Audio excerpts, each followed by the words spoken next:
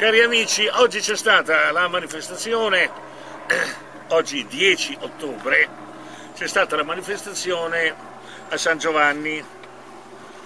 C'è stata una, dire, una sorta di delusione per molte persone perché si immaginavano che... Eh, la folle oceaniche. Sì, folle oceaniche, non tenendo conto che questa tipologia di partecipazione non è quella delle folle oceaniche dei sindacati, dei, dei sindacati che erano poveracci che li prendevano dalle province. No, li portavano un viaggio a Roma gratis. Esattamente, esatto, li portavano a Roma gratis, intasavano... Con, con la merenda al sacco gli davano. Non solo, tutto gratis e la merenda al sacco. e allora noi ci siamo abituati a quello. In realtà la partecipazione a queste manifestazioni, poi io spero che voi le vediate eh, su Alba Mediterranea o su altri eh, eh, siti, c'è stata, è una partecipazione importante che ha segnato sicuramente un punto, un punto molto importante nella evoluzione storica di questo paese. Dopodiché, voi vedete qui che io ho alcuni libri che vi farò vedere e leggerò anche alcune eh, frasi di Gramsci.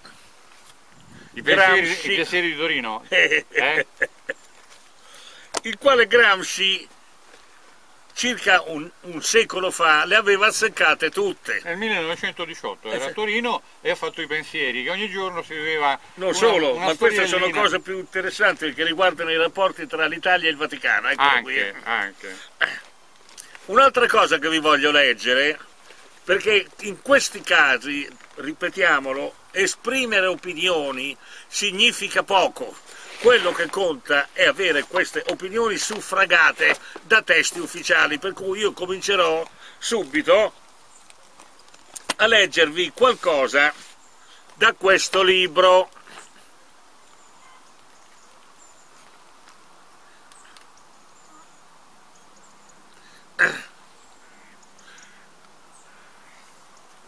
Ed è molto importante se poi qualcuno non riesce a capire qualcosa può, me lo può chiedere via email. Allora, capitolo sesto, la vaccinazione anti-influenzale.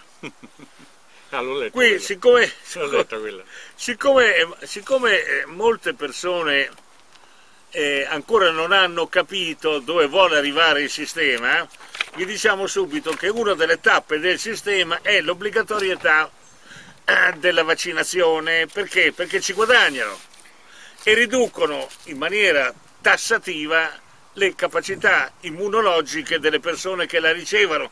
Qui c'è scritto, questo è un testo importantissimo che è stato pubblicato nel 2009, 11 anni fa, e vi leggo la questione. Questo per quanto riguarda la vaccinazione, con questo non significa che noi neghiamo l'importanza di vaccinazione come la vaccinazione contro il vaiolo. La vaccinazione contro il vaiolo ha funzione e funziona. È, è un'altra cosa, ma contro il vaiolo nel 1700 è un'altra cosa di questa situazione qui. La vaccinazione è intervenuta e ha risolto un problema. Io cito sempre il caso della imperatrice d'Austria, Maria Teresa? Maria Teresa, madre dei 12-14 figli, 14 figli. Di cui quasi tutti morti per vaiolo. Sì, sì. I sopravvissuti non è che siano finiti molto bene, perché una era no, Maria però, Antonietta. Però era Maria... tutti sistemati bene. Sì, allora, no. Inizialmente l'aveva tutti sistemati bene. A Napoli, in, in Francia. Eh, allora, eh. Maria Antonietta gli hanno tirato il collo. Eh, Un'altra è stata accusata di essere stata l'assassina per il tramite di un anarchico della famosa Sissi. E non sono reputazioni molto commendevoli, compresa la reputazione che ha portato alla ghigliottina la povera Maria Antonietta, che era una strozzetta da quattro soldi oltretutto. Vabbè. Allora, vi volevi dire qualcosa? No, volevo dire che l'altro figlio maschio era quello dei Borbone di Napoli. Certo. Eh, adesso non mi ricordo più era, se era Franceschiello. Proprio. No, assolutamente eh, no. No. Chi era? Ferdinando la, II? La, la, Ferdinando la figlia, di, no, la figlia di, di Maria Teresa, sorella di Antonietta, andò a sposa al Borbone di Napoli. Ah, giusto, giusto, Vabbè, vero, vero. Sì, allora, leggiamo queste cose. Cari medici, secondo me i vaccini anti-influenzali non servono. Le campagne per le vaccinazioni di massa organizzate dai ministeri della sanità sono solo soldi sottratti alla ricerca seria, orientamenti e mode. So bene che rischio di provocare polemiche, ma è esattamente questo il mio pensiero. Chi l'ha detto questa frase? Non lo so. Albert Sabin, ah, l'artefice del vaccino antipolio, che se ne intendeva, se mi permettete, così come se ne intende anche. Anche perché ha risolto davvero il vaccino antipolio. Esattamente. Eh, ha, creato, ha, ha, ha, tolto il problema di tanti disabili in giro per il mondo. Non, non solo i disabili, ma i problemi. Io ricordo che quando è nato il mio primo figlio, eh, era appena stata approvata in Italia la vaccinazione Solc, che era appunto quella con l'iniezione e eh, si viveva tutti nel terrore così, che il bambino nascesse con la polio. Era il terrore di tutte le famiglie. Sì, certo. Anche ricordandosi... Oh, erano 200.000 fra, in giro per l'Europa, eh, esatto. no, non uno. 200.000 e ricordiamoci anche che anche Mussolini, che aveva fatto tutti gli altri figli benissimo, la sua ultima figlia ebbe la polio. Quindi, insomma, non è uno scherzo. Va bene, quindi Sabin, che se ne intendeva, sapeva perfettamente che la vaccinazione anti-influenzale era pericolosa, perché laddove una vaccinazione non serve è pericolosa. C'è una marea di, contro, di controindicazioni, di danni collaterali infiniti e che se però funziona per togliere una malattia grave il collaterale lo accetti pure. Ma certamente. Ma quando non lo la è... La vaccinazione eh... antidifterica ha risolto il problema perché c'era un'infinità di bambini che morivano di difterite, compreso un fratellino di mia madre. Ma veramente Ma era una prima di... vogliamo parlare un attimo della manifestazione di oggi o no? Le parliamo dopo? Ma io direi concludiamo sì, questo sì, discorso okay. poi tu... Eh. No, perché c'erano alcuni aspetti sì. che... Sabin illustrò i dati ufficiali americani in cui si evidenziava che chi era stato vaccinato contro l'influenza si ammalava nella stessa percentuale di chi non si era fatto vaccinare. Questo del 1985. E vale tuttora. Esatto. Ma questo c'era, la riprova ce l'avevi quando l'Istituto Superiore di Sanità pubblicava mensilmente i dati che venivano comunicati dai medici sulle malattie infettive, quindi lì avevi il quadro, non a caso l'hanno tolto, e, e cazzo, devono fare tutte queste truffe, per forza. Una prova scientifica dell'efficacia delle vaccinazioni non esiste, semmai possediamo solo indicazioni in senso contrario. Lo hanno confermato i recenti ricercatori della Cochrane Vaccine Field in collaborazione con l'Università di Oxford, quindi la Cochrane è un'associazione che è nata, come abbiamo detto tante volte, su indicazione del dottor Cochrane, che riguardava la revisione sistematica di tutte le pubblicazioni che sono state fatte su tutti gli argomenti medico-scientifici. Le revisioni venivano fatte regolarmente, venivano hanno cominciato a essere fatte negli anni 90 e dagli anni 90 in poi hanno revisionato tutto quello che veniva pubblicato sulle, sulle, su tutto ciò che avveniva in campo medico-scientifico con un'enorme revisione delle concezioni e le considerazioni sui farmaci, sui vaccini e su quant'altro. Quindi se c'è qualcosa di preciso è proprio quello che ha stabilito la una, Cochrane è, è stata una purificazione dei dati. Esatto. D'accordo con l'Università di Oxford, che non è l'ultima università del mondo... C'è mia nipote? Eh. Te l'ho già detto, no? Sì. Ah no, mia nipote sta a Cambridge. Eh. Cambridge, Che hanno valutato l'efficacia, riduzione dei casi confermati in laboratorio e effectiveness, riduzione dei casi sintomatici, dei vaccini anti-influenzali inattivati o vivi attenuati nei bambini fino a 16 anni di età. Hanno analizzato 5 database, hanno selezionato 64 studi diversi, studi, 64 studi. Così funziona. Di dovrebbe sempre funzionare. No, quello funziona, il fatto che non li prendono in considerazione è un'altra cosa. Di somministrazione del vaccino per concludere che l'efficacia nei bambini piccoli è assolutamente non provata. I risultati sollevano dubbi sull'opportunità di effettuare un programma di vaccinazioni anti-influenzale estesa nei bambini senza prove adeguate che questa funzioni o sia interamente sicura. L'Anset non è pubblicata sulla prima rivista che, che sono quelle dove scrivono i, i, gli alti funzionari della sanità italiana, roba da, veramente d'accesso questo è il Lancet del 2005, 366, 1165, 1174. Gli ultimi dati riguardano le pagine. L'efficacia del vaccino nei bambini minori di 5 anni, così come negli, ultra 65 anni, è risultata incerta, quando non addirittura assente. Mentre invece fanno fare campagne vaccinali per gli anziani. Esattamente. paragonabile al placebo nei bambini minori di due infatti, anni. Infatti, allucinante, demenziale come minimo. Pensare di proteggere i bambini con questa vaccinazione dalle malattie invernali è un grosso equivoco su cui bene lucra l'industria del farmaco. Certo. Si sa che i bimbi, specialmente se frequentano asili e scuole materne, si ammalano spesso e la vaccinazione antinfluenzale non comporterà alcuna diminuzione né di intensità né di numero delle comuni infezioni delle vie aeree superiori possibili durante i mesi freddi. Il vaccino contro l'influenza non ha effetto alcuno sui circa 500 tra tipi e sottotipi virus che sono capaci di infettare i bambini nei primi anni di vita, per cui statisticamente non avremo alcuna modificazione alla loro tendenza ad ammalarsi. Queste cose le leggiamo perché questi continuano a puntare in, mala, in, totale malafede. Non è cambiato niente. Sì. Sotto il profilo medico, farmaceutico e sanitario non è cambiato niente. E se valeva allora, allora vale tuttora. Certo, non hanno cambiato niente, hanno peggiorato. Concludo questo capitolo.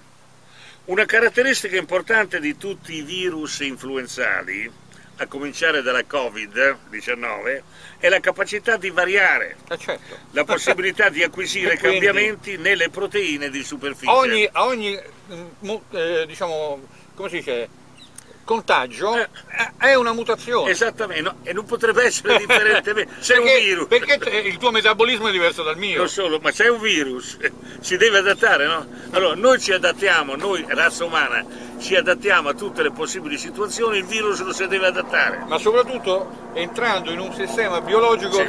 diverso dal mio. Allora cosa succede? Eh. Vi ricordo sempre quello che disse il povero professore Aurit, ehm, Aiuti, mio ex compagno di scuola, una volta che fu interrogato durante una trasmissione televisiva. Era una persona proprio eh, per benissimo. Sì, il quale, il quale a una domanda che gli chiedeva appunto perché questi vaccini erano, no, non, non servivano, perché diceva il sistema immunitario risponde a una domanda certo. e si risponde a quella domanda è distratto dall'altra, dall'altra certo. per cui si butta tutto su questo certo, che certo. magari non conta niente certo. e lasci aperta la porta a tutti gli altri. Certo. Ma questo concetto a chi lo dobbiamo dire noi? Capisce un cazzo nessuno qui. E quelli che devono capire qualcosa sono corrotti, finanziati e corrotti. corrotti.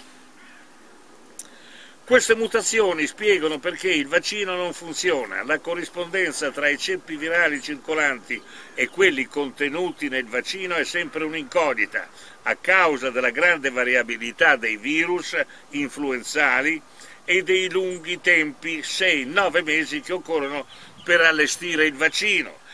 In due stagioni esaminate, 2003-2004 e 2004-2005, nello studio di Silaghi non vi era corrispondenza tra i ceppi virali circolanti e eh quelli certo. contenuti nel vaccino. Eh, è normale, è la cosa più banale che dovrebbe allora, essere. Cari amici, chiedetevi, chiedetevi quando vi vogliono fare il vaccino contro il Covid-19, c'è il 19, il 20, il 21, il 25, il 95, o le anime dei mortacci. loro! Re le reazioni avverse, oltre a quelle locali, arrossamento, dolore, tumefazione, indurimento e prurito in sede di inoculo, ne sono segnalate di importanti di ordine generale, quali febbre, malessere, mialgie, ma anche, lungo, ma anche, a lungo, termine che non vengono rilevati per ah, certo, cosa lì. Sì, ti possono uscire fuori dopo Dopo dieci anni, vent'anni, esatto. Angioedema, asma, anafilassi sistemica, neuropatia ottica ischemica, neurite ottica, sindrome oculo-respiratoria, poliangite microscopica, eritromegalgia, sindrome di Guillain-Barré. Addirittura. Paralisi del facciale. La sindrome di Guillain-Barré era è la malattia che era provocata dal... Non me lo ricordo più. Ma dalla medicina che dicevano essere stata inventata dalla Levi Montalcini, ti ricordi ah? Sì, sì. Per prevenire il contagio con il virus si può intervenire con misure non farmacologiche, banalmente lavandosi frequentemente le mani, ma è molto più conveniente vendere vaccini che eh, saponette. Eh certo. Chiaro? A conclusione di questa prima chiacchierata vi voglio far vedere due cose, perché sono molto importanti. La prima, sull'importanza dei medicinali e su come si scatenano delle guerre per i medicinali, c'è questo libro che non viene mai citato ovviamente, e che è la storia dell'aspirina. Ah, questo è bellissimo. Come al solito una scoperta casuale. No, a parte quello, la storia dell'aspirina qui non riguarda come siamo arrivati all'aspirina, riguarda le battaglie che sono state fatte, soprattutto... Legali? Sì, fra stati, fra Stati Uniti d'America e Inghilterra, per il possesso dell'aspirina. Questo libro è del 2005, non l'ho mai sentito citare, mai. Qui sono, aspetta un minuto, qui sono 300 pagine che raccontano esclusivamente non la storia dell'invenzione, la storia delle, delle battaglie eh, cruente e giudiziarie tra stati per avere il brevetto e poter utilizzare questo farmaco. Vabbè, ma, ma, immagina miliardi di aspirine che sono state fatte nel corso dei, dei 30 anni, sì. 40 anni, quanti sì. 40 anni hanno inventato Ah, di più. Eh, di più, 40, eh. attorno al 40. L'aspirina. Eh. Ah no, prima, 10, sì, 2000, eh, 1910. Certo, una delle prime grandi sì. sc eh, scoperte della medicina chimica. Certo. Eh, perché nasce tutto da un ricercatore della Bayer. Quindi questo per dirvi quali sono le lotte, certo uno potrebbe dire, certo l'aspirina non è il resto, ma siccome io ho lavorato nell'industria farmaceutica so perfettamente quali erano in retroscena di certe battaglie tra farmaci sostanzialmente differenti l'uno dall'altro, ma con la stessa indicazione. Insomma, questo ve l'ho voluto far vedere in modo tale che capiate perché raccontano tante cazzate. L'ultima cosa poi do la parola a Orazio che parlerà... No, parliamo tutti e due della, della, vicenda di oggi. Sì, sì, va bene, d'accordo. Un'altra cosa molto importante, io qui vi faccio vedere un libro che nessuno di voi vedrà mai più, cioè io lo faccio vedere e lo cito.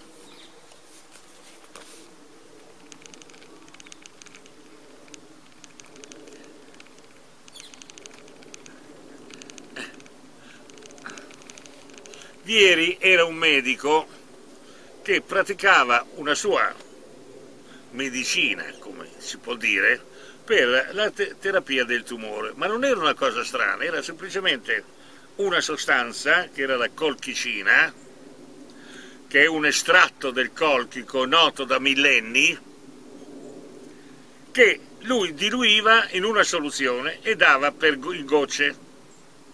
Siccome questa situazione interferiva con gli interessi dell'industria e con gli interessi dei medici, lui a un certo punto, per aver fatto una cosa perfettamente legittima, perché il colchico e l'estratto del colchico era nella farmacopea ufficiale sia italiana che europea. Il colchico era deriva dalla corteccia del cervello? No, il colchico È una pianta, un'erba. Non lo conoscevo.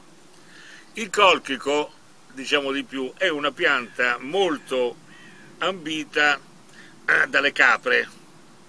Tant'è vero che il famoso veterinario di Agropoli che aveva scoperto che... Agropoli in Campania? Sì, di Agropoli in Campania, Bonifacio si chiamava, aveva scoperto... Ah, mi sa che faceva lo stregone. No, ma che lui aveva scoperto che dando un estratto dell'intestino delle capre curava il tumore. Ma io non ricordo, era una specie di santone sorriso. No, no, assolutamente no. no. Passava per essere santone. Assolutamente non è oh, lui. Ah, non è lui. Lui ha fatto regolarmente, era un veterinario eh, e, quindi, e, quindi, le viscere avevano assorbito le Perché, sì, ma questo l'abbiamo scoperto. Questa è tutta una cosa che abbiamo scoperto noi quando facevamo, noi, noi quando facevamo la, il periodico decadale La coscienza del medico e l'avevamo scritta ampiamente per dar ragione a Bonifacio.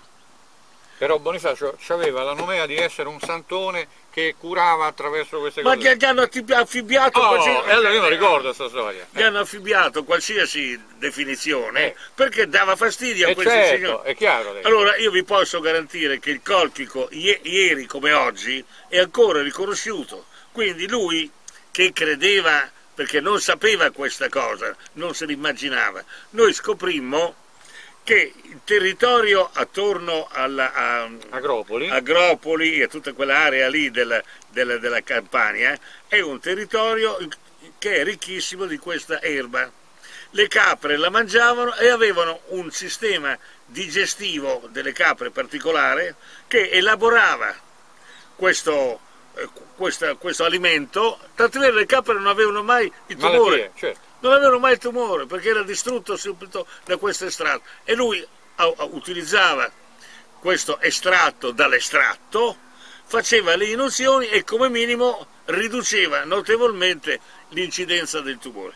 Allora è la stessa cosa, questa è tutta la storia che ha passato questo povero diavolo per aver prescritto ciò che gli era concessa alla fine ha vinto tutte le cause, ma gli hanno creato un problema che non vi dico. Questo per dire qual è la realtà della sanità oggi e qual è la potenza dell'industria farmaceutica attraverso i suoi servi.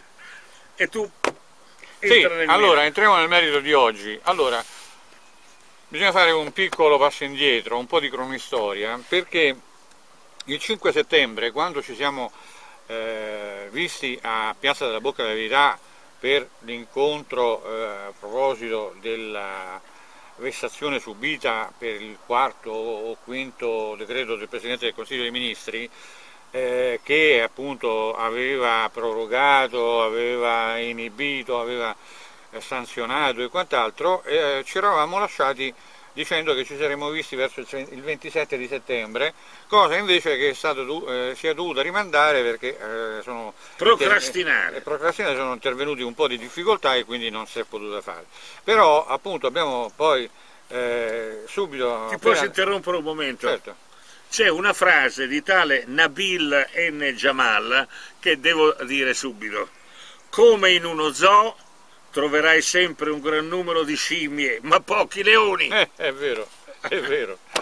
Eh, e quindi niente, c'era questo appuntamento del rendezvous che ci eravamo dati, eh, però per difficoltà insorte nel frattempo è stato rimandato. Ma noi siamo stati i primi a appunto Piazza della Bocca della Vita a dire ci rivediamo qua al più presto e al più presto è stato definito il 10 di ottobre. Poi all'improvviso, qualche settimana fa, un paio di settimane fa, sorge dal nulla questo nuovo comitato di eh, salute pubblica eh, di, con varie denominazioni nel corso degli, de, dei mesi ha cambiato denominazioni varie volte per cui praticamente hanno indetto questo incontro a Piazza San eh, Giovanni al che noi abbiamo cercato di far rientrare questa diaspora e cercare di portare avanti un discorso eh, diciamo comune, no? eh, contemporaneo. e, ma intendevamo contemporaneo nello stesso luogo e invece eh, loro hanno preso rotta... Che è stato meglio. Sì, no, è stato benissimo, benissimo. E quindi loro hanno, hanno portato avanti il loro progetto e per carità mh, tutto apprezzabile, fanno lo stesso mestiere nostro, nel senso che portano avanti un progetto analogo al nostro e quindi per carità eh, un giusto riconoscimento anche a loro. Però nel frattempo che è successo? Che insomma noi avevamo avuto continuamente una serie di eh, traversie, non saprei dire neanche se eh, scatenate volontariamente o fortuite, fatto sta che comunque eh, l'andazzo è, è andato così e quindi abbiamo perso per la malattia di due operai dell'azienda che ci doveva fornire il service, cioè eh, il, il, podio, il palco e gli impianti di eh, amplificazione, eh, praticamente per questi due malati eh, la compagnia, la società ha dovuto chiudere e noi ci siamo ritrovati a due giorni dall'evento eh, senza nessuna possibilità di portare avanti il progetto. Abbiamo, ci siamo dati da fare, abbiamo trovato mm, eh, un, un, un impianto di voci e di luci eh, adeguato, ovviamente il palcoscenico non c'era più ma avevamo la possibilità di metterci in alto su quel podio sì. naturale del palazzo sì. e quindi non c'era problema. E ci serviva un generatore, allora abbiamo trovato quindi gli, gli impianti ma non avevamo il generatore, dovevamo trovare un generatore di 5 kW e questo generatore l'abbiamo trovato ma eh, stamattina andando a prenderlo abbiamo tentato di metterlo in moto e non si metteva in moto quindi siamo rimasti senza al che poi alla fine di tutti i conti il, fatto non è stato così deleterio perché in fin dei conti eh, l'affluenza sia nel, nostro, nel nostro sito a Piazza della Bocca Verità e sia nel sito, da quello che mi hanno raccontato, nel sito di San Giovanni l'affluenza è stata veramente molto ridotta. Più che ridotta, non oceanica, diciamolo eh, in maniera diciamo, molto chiara. Beh, beh, no, le altre volte abbiamo avuto anche 10-15 mila presenze, stavolta noi avremmo avuto boh, 300 persone, forse 400, non lo so, ma molto, un numero molto esiguo, e a Piazza San Giovanni probabilmente forse un migliaio, eh, quindi ecco, un numero abbastanza esiguo. La cosa importante da dire è che però la eh, sfortuna è stata abbastanza diciamo, equilibrata, nel senso che eh, eh, abbiamo avuto l'impressione fondatissima che eh, eh, la nomea che era scaturita dal passaparola in eh, web, nel, sul web che la manifestazione sarebbe stata abbastanza facinorosa e, a quel punto eh, eh, la cosa è stata smentita intanto perché la partecipazione è stata minima, come dicevo, ma soprattutto è stata estremamente pacifica, quando invece le forze dell'ordine si erano approntate in maniera pesante, addirittura con, cannone, con i cannoni ad acqua, proprio pronti lì a, a scatenare il pandemonio se fosse occorso. Non solo ad acqua, perché quando lo fanno anche a, a, a palle di, di gomma, anche di gomma che fanno molto male, molto, molto, molto male, ti rompono anche le costole. bene i francesi. Se ti beccano in un occhio ti parte l'occhio, sì. quindi eh, non è una cosa da scherzare sopra. Allora, però, praticamente sono rimasti fregati pure loro perché si aspettavano una torma, una folla urlante, esagitata che in realtà non, non, non solo non era esagitata ma non c'era manco la folla e quindi se la sono presa sempre in Solong. Da quella parte lì, quella parte lì, che, che, abitualmente è senza mascherina. Qualche volta ci mettono la, sì. la cosa di ferro. Sì, sì, la, la, maschera di ferro. No, la maschera, la cintura, la cintura di castitade. Di castità, di castitade. Ecco. Quindi questo è, eh, andava letto perché poi comunque il risultato mediatico c'è stato perché incredibilmente di folla ce n'era pochissima, ma di giornalisti ce n'erano tantissimi, buona metà direi della folla o almeno un terzo, un quarto della folla era eh, giornalisti televisivi o radio o giornali, di giornali perché a me mi hanno intervistato in eh, Rai 1, Rai 3 eh, eh, Canale 5, ma c'erano anche eh, Italia 1, eh, TV7, c'erano tutti, tutti, quindi vuol dire che il potere incomincia a aprire le orecchie, a alzare le orecchie e dice mm, e soprattutto incomincia a prendere atto che, che c'è qualcosa. Che qualsiasi espediente siamo, l'abbiamo poi voi l'avete già visto, mi auguro che voi avete già visto quello che abbiamo detto relativamente alla rivoluzione francese. Siamo a qualche annetto prima sì, della presa siamo, della diciamo, attorno al 1775, 1780, va. Esatto, esatto. Siamo lì. Sì. Siamo nei prodromi, cioè Sì. gli elementi ci sono E faranno tutti. sempre soltanto degli errori da ora in poi, ricordiamocelo bene. Quindi- Perché qualsiasi iniziativa che prenderanno sarà sbagliata. Sì, sarà eh, difforme, cioè Certo. non, non- non adeguata, inadeguata a- a- alla problematica che deve risolvere. Certo.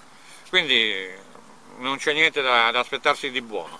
Però in questo ci sarà sicuramente gente che soffrirà delle usurpazioni, delle angherie che compieranno masna- queste masnate al soldo del potere, su questo non c'è ombra di dubbio come è successo dappertutto, però questo diciamo, conflitto latente e anche diciamo, guerreggiato a basso regime, diciamo così, Esatto. cre- creerà una sensazione generale, un, come si dice, un, Sì, una percezione pubblica, generale, una un- percezione. una percezione della, della angheria subita, della usurpazione subita che eh, alimenterà il focus interiore, l'animus Certo. della, della, delle E la- e la- persone. e la rivolta. E sarà il momento in cui comincerà a esserci la cosa che le brigate rosse, e io lo ripeto sempre, non hanno avuto questa percezione, anzi hanno avuto la convinzione esa- Avevo il con- al contrario agivano al contrario, agivano al contrario, Eh. tant'è vero che hanno creato la, la- la reazione popolare, Certo. perché quell'azione da, da- da banditi, da, da- strapazzo, E certo, era chiaramente... non avevano il supporto popolare come Es- invece ci hanno avuto ad esempio i partigiani durante la guerra. Bah, Ma- bah, vabbè, una fascia diciamo di partigiani. Eh, no, tu diciamo- lo so no, che non sei d'accordo, però. No, di- no, diciamo che era, il supporto era dovuto al terrore perché chi si metteva contro l'ammazzavano quindi certo. nelle maniere peggiori. Certo. Vabbè, comunque è un altro discorso. No, quindi per concludere, insomma, per concludere è questo il fatto. Oggi quindi ci sono state tre manifestazioni di cui una è andata deserta praticamente, ma che ha fatto da eh, ago della bilancia della situazione, perché io sono convinto che tutte le interviste che ci hanno fatto a noi in, questa- in queste tre ore, quattro ore che è durata la manifestazione, eh, probabilmente a, a- a Piazza San Giovanni non, non c'è stato, perché non c'erano proprio i tempi, No- non c'è stato il tempo per parlare, dialogare con Certo. i media, mentre noi ne abbiamo avuto tantissimo. Certo. Quindi questo è stato un, eh, diciamo, un- vantaggio inaspettato che ne- nessuno prevedeva. Perché si dimostra che bisogna sempre muoversi, rimanere detto, anche a ieri. girarsi i Eh, pollici me- o altre cose. Meglio, fa- si- meglio sempre fare anche se sbagliando che certo, non fare. Esattamente, Eh. soprattutto nel campo politico. Esatto. Quindi eh, io eh, no, volevo dire, non so se abbiamo ancora voglia di fare qualcosa. No, io devo parlare Ah, allora- dell'analisi di, di, di Gramsci. Allora parlerò brevemente di questa Sì. cosa qua. Questo era il, il pamphlet che avevo preparato per oggi. Questo eh, pamphlet si chiama Sassari, la città dei presidenti e delle grandi famiglie. Eh? Bellissimo. Eh? Allora, È una vera capitale, Una capitale, amici. grande Sembra- cap- sembrava emarginata, ma è la vera capitale. una cittadina che non arri- arriva a 100.000 abitanti, che ha avuto tre presidenti della Repubblica ufficiali e uno non ufficiale. Ufficioso. Ufficioso. Ma vi sembra normale a voi una cosa del genere? Come il bar della Tartana Sì. a San Pier d'Arena, un baretto che è un chioschetto appena appena di 4 metri quadri, dove si incontravano degli strani tutti, personaggi. tutti, tutti i più grandi personaggi della musica, del cinema, del teatro, eccetera, eccetera. È mai Esatto. possibile? Nonché Beppe Grillo. Non che- beh, se non mancava il sale, come, lo- come lo, lo facevi a, a farlo diventare, eh, eh, come dire, saporito? Allora, diamo, eh, quindi niente, in questa disamina io appunto parlavo di- della incredibile storia che si è potuta verificare in una cittadina di estremo, eh, proprio di, di, di massima peri periferia. periferizzazione. Sì, cioè a, a, a, allo sprofondo, come sì, dice a Roma, sì. allo sprofondo. allora, Oddio, c'è stato un precedente, intendiamoci. La Sardegna è sempre entrata, malgrado l'immagine, la copertura, è sempre entrata vivamente nella storia d'Italia, eh? sempre, per millenni, fatto che era sempre coperta. Sì, sì, sì. E non a caso Napoleone era corso, ricordiamoci. Eh, ricordiamoci sì. Eh, sì. Vabbè. Allora, e aveva in corse che... E ricordiamoci che la mafia corsa non è seconda a nessuno. Assolutamente. No, sono, quattro sono, pochi, sono quattro gatti, ma contano. In. Francia contano moltissimo, tant'è che, che la, il presidente, non Macron, come si chiamava l'altro? Il presidente quello, quello, che si è sposato alla Bruni, Claudia Bruni. Sì. Eh, Sarkozy. Sarkozy era uno dei componenti della banda, non della Magliana, ma della banda della mafia corsa. Esatto aveva fatto proprio affari importanti con traffico di, di, di E tanto è vero che l'hanno fatto precedente delle Repubblica. non a caso, eh. come anche il nostro. Eh, non certo. ci facciamo mai mancare niente neanche noi. Eh. noi allora, fra questi giovani, lo leggo così si legge, capisce? Fra questi giovani troviamo l'avvocato avvocato, altro nome esuberante, incredibile, Enrico Berlinguer, capo del Partito Comunista. Ma figlio, figlio no, del aspetta. capo del Partito Comunista. Ah, c'è la, no, Enrico Berlinguer, nonno del futuro segretario ah. del PCI, ah, l'avvocato Giuseppe Castiglia, sì. professore di filosofia del diritto all'Università di Sassari, da cui eh, quasi tutti provengono. l'avvocato Pietro, Pietro Moro, un industriale di eh, idee nittiane, Salvatore Azena eh, Mossa, che è anche il finanziatore del gruppo, Anto, de, de, de, del gruppo quello dei poi mi verrà a Era, un sì. finanziamento che andava sempre sul sicuro. Sì, sì, sì. Eh, L'avvocato Pietro Moro, un industriale, eh, cioè, cioè, Mossa che è anche il finanziario del gruppo, e Antonio Zaffarino, nonno di Francesco Cossiga. E questo è il nucleo storico di quella borghesia anticlericale, democratica e repubblicana che segnerà con un'opposizione di fondo anche gli anni del fascismo, sensibile ai valori culturali che segnerà eh, e, in, in definitiva, dove? Sensibile ai valori culturali e in definitiva all'Europa, curioso del nuovo e in realtà profondamente legato alle tradizioni della terra, questo gruppo, il gruppo era, mannaggia poi mi viene a mente come si chiamava il gruppo, eh, vabbè, insomma c'è un gruppo... Col nome del bar dove si riunivano? Sì, no, no, no, beh quasi, una cosa del genere, eh, tipo gli Ustari, una cosa del sì. genere, una cosa del... Vabbè, eh, curioso di nuovo, in realtà profondamente legato alle tradizioni della terra, questo gruppo diede anche vita ad un giornale, La Nuova Sardegna. Ma non mi dire. Eh sì, concepito da Pietro Satta Branca ed Enrico Berlinguer Senior come foglio di contestazione e di agitazione politica. La parentela tra i Berlinguer e i Cossiga è già nata. La comune matrice è nella bisnonna materna che sposa in prime nozze Giuseppe Zanfarino e in seconde nozze Giuseppe Loriga. Da Zanfarino ha un figlio, Antonio, che abbiamo visto tra i repubblicani più attivi, che sposerà Maria Solinas. Da questo matrimonio nasce Maria, che andrà in sposa a Giuseppe Cossiga, il padre del neopresidente della Repubblica, Giuseppe Cossiga, morto alcuni anni fa, è figlio di Francesca, Francesco Maria, detto Cucù, Cucù, inedito medico di Siligo e viene oggi ricordato come azionista della prima ora di quelli per intenderci che si identificarono subito nel messaggio di Lussu. Tralascio una serie di cose. Anche lui un locale. Eh, eh, eh, Maria, del, dal secondo matrimonio di Maria Russo con Giuseppe Loriga nasce invece Giovanni, la cui figlia Maria andrà in sposa a Mario Berlinguer, padre. Sì. Mario Berlinguer, ricordiamocelo padre, bene, anni 40-45. Eh, sappiamo chi Quello che ha combinato Mario Berlinguer. Sì. Il, senatore, appunto, il senatore Aventiniano prima Mendoliano, poi socialista, padre di Enrico, ma non è tutto. I Berlinguer sono poi legati alla lontana con i segni e tramite un rapporto molto più stretto con i Siglienti.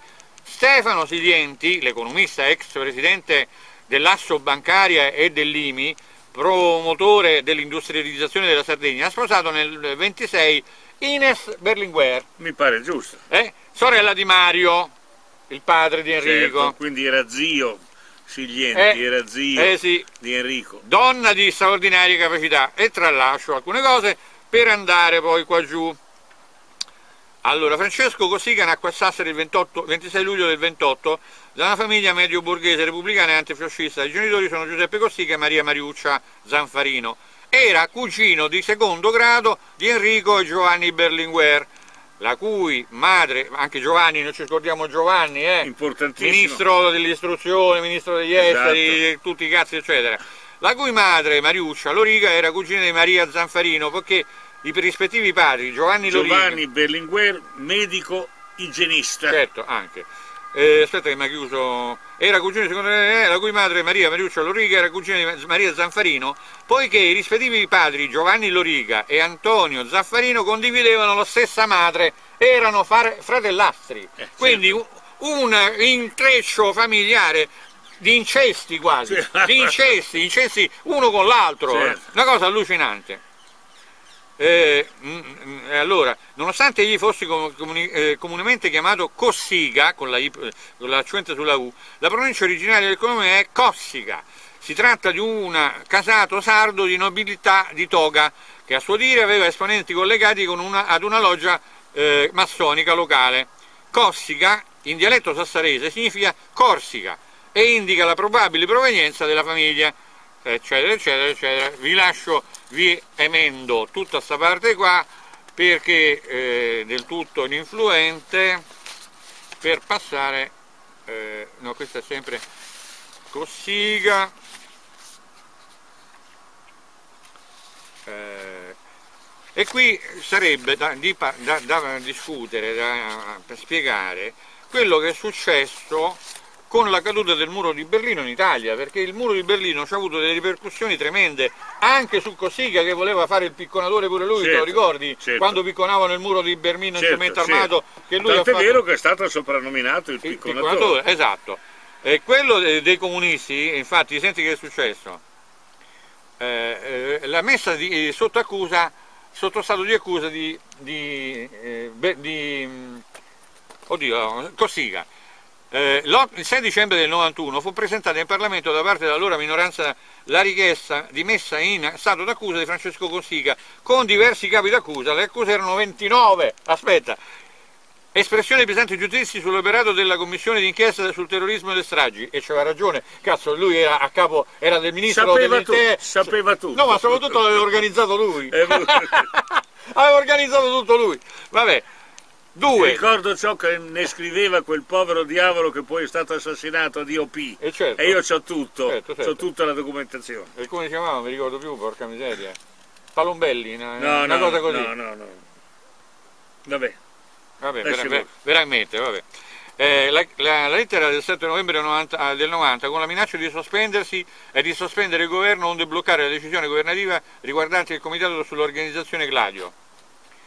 C. Le continue dichiarazioni eh, circa la, la legittimità della struttura denominata organizzazione Gladio, benché fossero in corso indagini giudiziarie e parlamentari. Si sapeva tutto di Gladio. D. La minaccia nel corso del, eh, del ricorso alle forze dell'ordine per far cessare un'eventuale riunione del Consiglio Superiore della Magistratura. Mino Pecorelli. Eh, Mino Pecorelli eh, nonché del suo scioglimento in caso di inosservanza del divieto di discutere certi argomenti. E i giudizi sulla loggia massonica P2 nonostante la legge di scioglimento dell'82 e le conclusioni della commissione parlamentare d'inchiesta. F.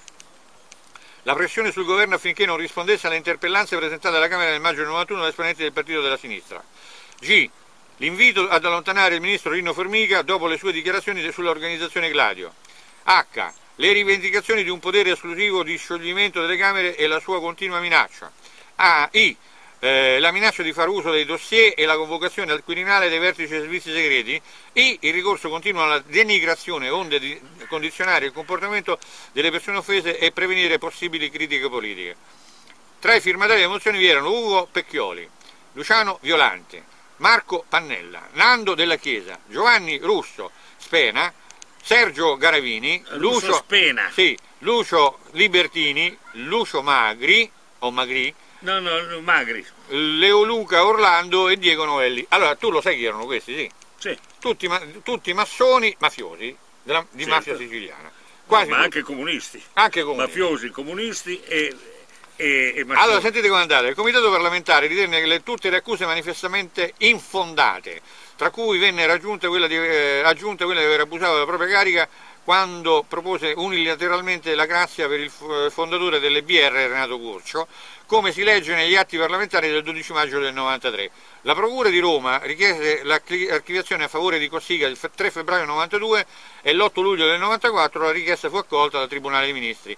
Cossiga scrisse, senti, questo è importante, il Partito Comunista sapeva dell'esistenza di un'organizzazione segreta con le caratteristiche di Gladio. Lo dico perché ne fu informato da Emilio Taviani, che, che, che, era, che era? Democristiano Taviani? Taviani, sì. Eh, lo sapeva eh. tutto, lo sapevano tutti. Padre dei fratelli Taviani. Certo.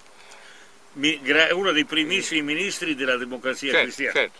Lo dico perché fu informato da Emilio Taviani, perché i comunisti lanciarono, lanciarono comunque quella campagna e perché inserirono i dati di Gladio tra le accuse che portarono alla richiesta di incriminazione nei miei confronti? Credo di avere la risposta. Ecco la risposta. Quello dei comunisti fu fuoco di batteria, era da poco crollato il rumore... Di controbatteria. Di controbatteria, scusa.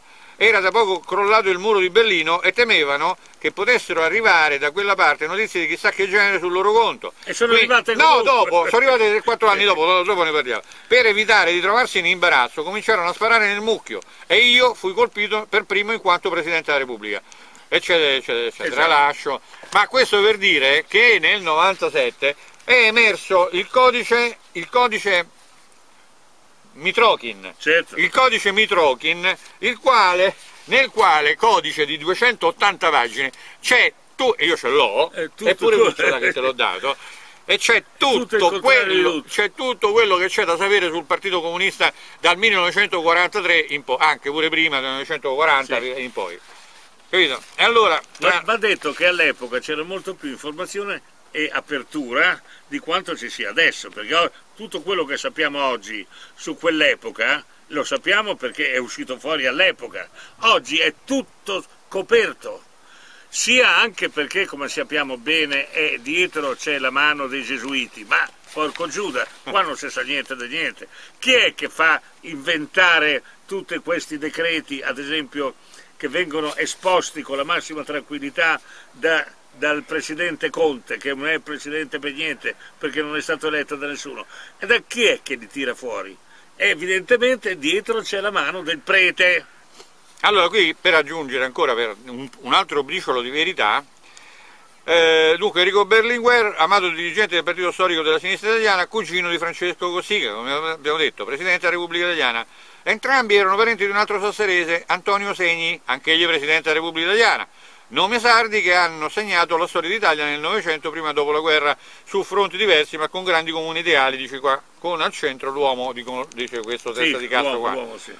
A questi personaggi importanti va aggiunto un altro nome di un altro conterraneo, Giuseppe Saragat, poco noto nella sua origine isolana in quanto cognome Saragatu, si chiamava Saragatu, quello vero, e prima ancora si chiama Saragato, no? e, e, è stato adottato una forma catalana del nonno Pietro Saragatu, no? avvocato noto, nato a tempo Pausania eh, in provincia di Sassari, sempre, ricordiamoci, sempre in provincia di Sassari. Ma la cosa ancora più strana è, allora già è strano che siano stati eletti tre presidenti e un, un, un presidente del, del, partito più importante comunista italiano, certo. per, per, tantissimi anni è stato presidente de, certo. dei, dei, comunisti italiani. Fin, finché è morto. La cosa incredibile è che il signor Saragatu, no, abbiamo detto Saragatu, che io quando scrivevo degli articoli su di lui lo chiamavo Sparapat. Saragatu, il caro Giuseppe Saragatu, in compagnia con un altro tale che si chiamava Alessandro Pertini, mai sentito? No, eh, un tale che si chiamava Alessandro Pertini, mentre erano stati catturati in maniera banale, come, come i sorci col tovo, sì. banale, sono fatti fregare proprio per quattro, è una cazzata tremenda, erano dentro in galera a Regina Celi. Arriva la strage di, di... Via Rasella di Via diciamo delle, delle, fosse ardeatine. No, vabbè, la strage, sì, di Via Rasella. Sono state due stragi. Aspetta, la strage di Via Rasella per cui ogni tedesco ucciso eh, entra in vigore la, la, dice, la, la legge, quella, La legge- la Ordo, la Ordo, Sì, sì, vabbè, quella, quella eh, vabbè, lo sappiamo, dai. come- barbara, Sì. eh, del occhio per occhio, no? Sì. Eh, Occhio per dieci occhi comunque. certo, Perché- occhio per dieci occhi, e eh, dove vanno a raccogliere questa gente da fucilare alle fosse ardeatine? Dentro le carceri ovviamente, no? Certamente. Che vanno a cercare per strada, fanno anche Ah, alcuni poveracci i rastrellamenti che si trovarono fatti. da quelle parti. Sì, hanno anche rastrellato la gente, però eh, diciamo, il corpo principale di quantità di quei 300 Sì. e passa, 330 che dovevano essere, eh, in realtà eh, li prendono alle fosse ardeatine, le- Sì. nelle carceri. Nelle carceri. Chiedo scusa. A Regina Coeli. Ci sei? Ci sei? Batti un punto. C'è un cancello, c'è un cancello dove c'è scritto Consorzio Volusia. Eh, quello, deve Eh. entrare, deve entrare al Corsorzio Volusia, no? Esattamente. Entra, entra. Di, di che vai da Vitali, Giorgio Vitali. Giorgio Vitali.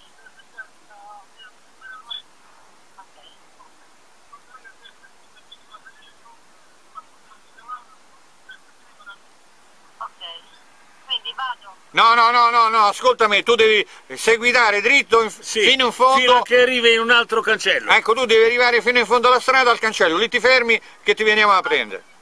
Ok, Capito? Dritto. Seguila sempre dritto fino in fondo, va, va bene. dove finisce la strada.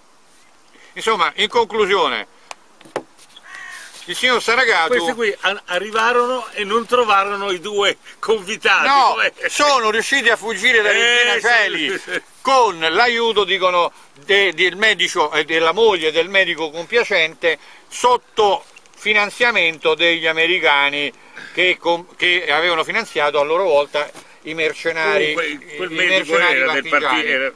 E poi tutti questi elettroscena. No, ma aspetta, è finito. Pertini, Saragat, Segni, eh, Cossiga, tutti presidenti della Repubblica. Quattro presidenti della Repubblica su 12. Ma che cazzo vogliamo ancora credere alla libertà di stampa, alla libertà eh, soggettiva, soprattutto alla libertà a- di voto. a- alla libertà di voto. Ma vi rendete conto di che cazzo è successo qua? E questo è solo uno degli episodi che vi voglio raccontare. Uno, e questa è roba scritta su Repubblica, eh? Non è che la, la dico io, me la so inventare, scritta sulla, sui, sui lanci della ANSA. Vai, Avete capito? vai. Questa è la cosa importante. Vabbè, eh, vado ad aprire Aspetta, a mo ti loro. devo Tu, la se- chiave. seguita, seguita, comincia. Sì. No, tu chiudi e riapri per Sì. favore. Sempre Solon. No, tu ti chiudi e riapri. Sì. Guarda se quanto abbiamo fatto. C'hai ancora 80